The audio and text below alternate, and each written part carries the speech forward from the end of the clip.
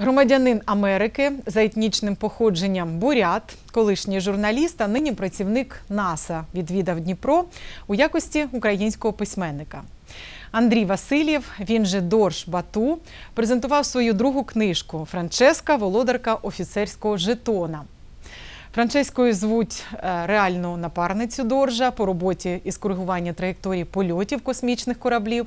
А обидві книги це дотепні історії про робочі будні, в яких завжди є місце і для курйозів. Перша книга починалася із дописів на сторінці у Фейсбук, але згодом стала дуже популярною. Видавництву старого лева довелося повторити наклад. У другій книзі читач дізнається, що Франческа дівчина із аутизмом.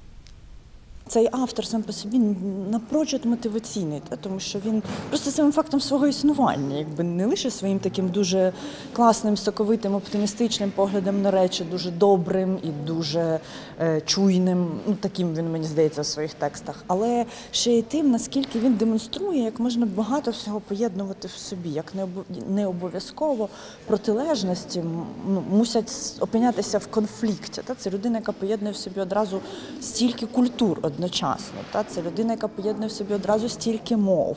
Це людина, яка зробила такий стрибок фантастичний з професії в професію. Якщо під впливом цієї другої книги хтось змінить не тільки в своєму житті щось, а може хтось змінить ставлення своє до людей, які мають аутизм, до людей, хто має синдром Дауна, до представників ЛГБТ, хтось поміняє ставлення до утисків прав жінок, то моя місія також буде.